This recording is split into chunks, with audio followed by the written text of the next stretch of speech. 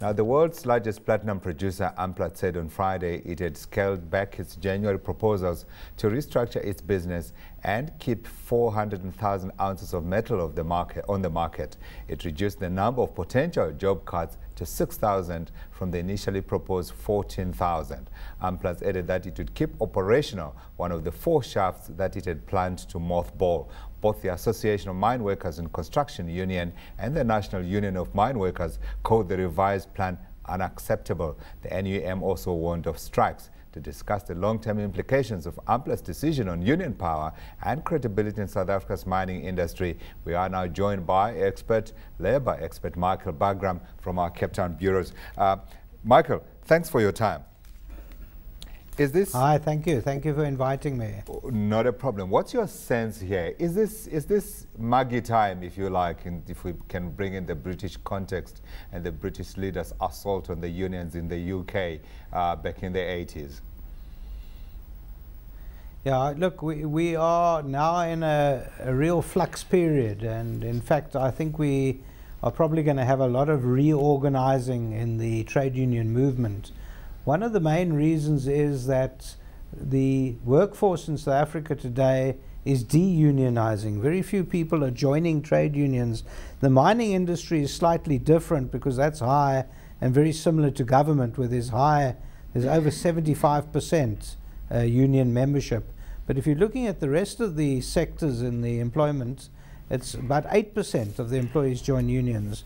So if you look at those figures, we've got one interesting factor where union power is dropping. Yeah. But we've got another interesting factor where, in fact, what's happened here with the AMCU NUM debate, the employees are saying that we're not interested in the politics, we're not interested in what's happening in terms of who rules the union, who runs it, how much uh, the union organizers are earning. We're interested in what's happening on the ground. Right. And I think that's a big thing what's happening. Employees are starting to ask questions. They're not cannon fodder anymore. So union members want results.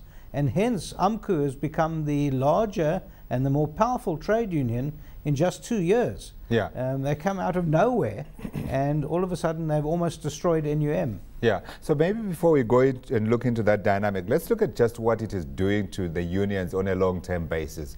Are you saying, therefore, that what we are seeing in other sectors of the economy, as you have said, is also going to be extended on the mining side, and that we are likely to see unions getting weaker, and therefore the coming of AMCU really uh, is helping that process along? Yeah, you, you're absolutely correct. I think we got a maturing workforce in South Africa. Um, the workforce is starting to understand that a lot of the issues are bread and butter issues. They should be decided company by company. Um, they're going to start forming their own internal associations, call them unions if you will. But I think the day of the mass union across uh, all the companies in that particular sector yeah. is falling apart. I think we are leading into a new South Africa. And I think it's a good thing. There's nothing wrong with that. Um, people still should have power and should still have their say. And I don't think there's anything wrong with people saying, we at Anglo, we want to form our own union or our own workers' committee, and we want to move forward with our own issues. Yeah. We're not interested in uh, the politics. But Michael, if you're saying that's not a bad thing, therefore, where will that leave the workers? Because outside of the unions, should it be left to government really just to look after the welfare of workers as it ordinarily would? So, you know, this uh, responsibility now moves on to the political parties, which would be expected, of course, to then define themselves in terms of what they do for the workers and what they don't do for workers.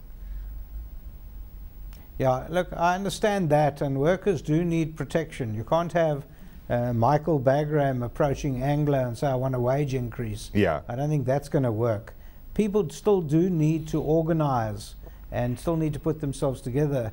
The Labour Relations Act at one stage, about 10 years ago, tried to put together these uh, workplace forums, and it never took off because COSATU, as a union, refused to allow it. they never ever allowed these workplace forums to get off the ground. But that's the way the world is going, that a workplace where you have people together mm. would form a forum and that would negotiate directly with the bosses. What does this mean for COSATU? And importantly, what does this mean in the long term for the ANC?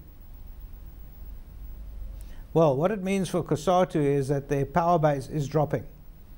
AMCU has shown that in absolute no uncertain terms yeah. that their power is dropping. Their numbers are dropping. Outside of mining, they've dropped to about 8% organization, which is probably the lowest we've seen in years. Um, I, I, strongly believe that the ANC should disassociate itself with COSATU as a third party to mm. that triumvirate. Yeah. And the reason being that we saw all those strikes, and then all of a sudden, COSATU said, don't speak to AMCU. They told the government not to speak to AMCU, saying, they don't represent the people. You talk to us, we in partnership. What did that lead to? That led to a Marikana because no one came forward and spoke to the real representative of the people, which was mm. We now mm. know it. We mm. know that everyone went across and joined AMCU, and somehow we weren't talking. And the minister herself didn't go and talk to AMCU. It, it was a tragedy. Yeah, yeah. So, what does this leave then uh, the mining communities at because you think about uh, the disintegration, if you like, of uh, the, the, the, the, union power structures and the consequent impact on employment relations. And then you think about also potentially what this means for, for, for these communities where post-Marikana, we have definitely seen some kind of destabilization. We certainly have, and you're right there. The point is that it's still 75% unionization at the plant, yeah. at the mines themselves. So, and AMCU is speaking on behalf of the people, and they are saying that we need to talk about bread and butter issues. They're still talking about hours of work, they're talking about how much people are earning, and now they're talking about, you've just spoken earlier about the 6,000 people that are going to be let off and told that we are retrenching. Yeah. AMCU is not going to keep quiet. There's going to be a fight. And we, we unfortunately are expecting a massive fright there because of the history. Yeah, some people are saying that this year's uh, collective bargaining uh, uh, negotiations are probably going to be one of the toughest that the country has ever seen. Uh, many people are suggesting that perhaps this will not be the case. What's your take? I think it will be the case.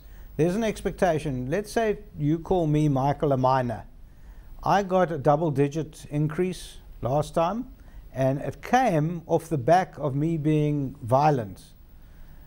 What do I think? Yeah. What I think is that if I violent again, if I demand a double digit, I'm not going to back down until I get it.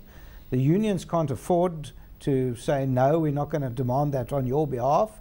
Yeah. AMCU is still trying to compete with NUM.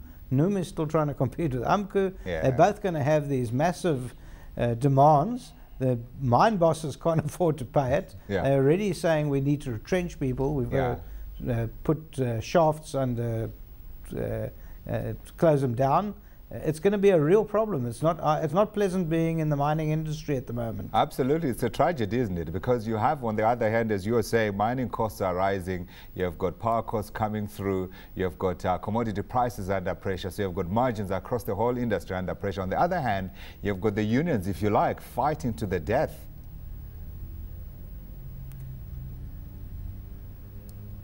Absolutely. I mean, if, if you think about it, each union has to now prove its salt. It's to show the workers that they are the real people.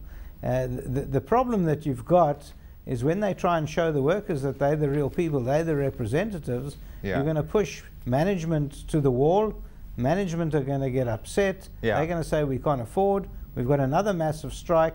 And unfortunately, it's bad for the whole country. Both you and I know that we rely on the mining industry to pay almost 50% of our income, our, mm. our taxes. Mm. Our foreign income comes via the mines in this country. Yeah. We traditionally live by the mines itself. And, and I'm pretty worried. As a labor consultant and a labor lawyer, yeah. I'm very worried that this is now rearranging the entire industrial relations mindset of the whole country. Mm. Uh, we are looking at an industrial relations nightmare about to happen on the mines and we know what happens. That spreads to the rest of the country.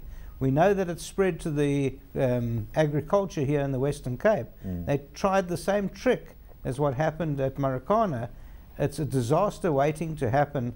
We do need government to step in. That's uh, what I was going to ask entirely you. on management. That's what I was going to ask you. What can government do? I mean, government can't really be the neutral voice here, can it? Because we know, of course, government is made up of uh, the ruling party, the ruling party, which has in its uh, alliance ranks uh, COSATU, COSATU, which represents some of the workers. Yeah, once again, you're right, but we need someone to come in, and government's got the upper hand. They do have the power. Our Department of Labour has to play a leading role in this. I suggest immediately tonight that our Minister of Labour puts together a task team. Yeah. She puts economists together, uh, maybe some, consultants, puts people from her department, and a proper task team to investigate what's happening, especially in the platinum industry, mm. because that industry is going to collapse, it'll implode. Uh, already you're saying to a mine, you're not allowed to, as government, you're not allowed to retrench more than 6,000 people when they're saying, well, we actually don't, we don't need these 6,000, we need to retrench 12,000. Um, so you're already making the mine possibly uh, um, unpalatable anyway at the best times, and there'll be no profit coming out of it. Now we're going to have this massive strike. So you can imagine any investor is going to look at this and say, maybe South America is better for me, platinum's cheaper there. My feeling strongly, We've got a good Department of Labour. They need to put together a very good task team and not absent themselves yeah. when the fight happens. Let's. We know there's a fight going to happen. Yeah. We all know. We, I'm telling you right now, it's going to happen. So let's get in people beforehand. When you've got two kids at school, and you know that they about they start taunting each other, the, the teacher will come out there and then and push them apart. We need to do this now, and we need to find solutions. We can. We've got a good industrial relations system that does exist. Yeah. It's being bastardized by the lack of input from the department.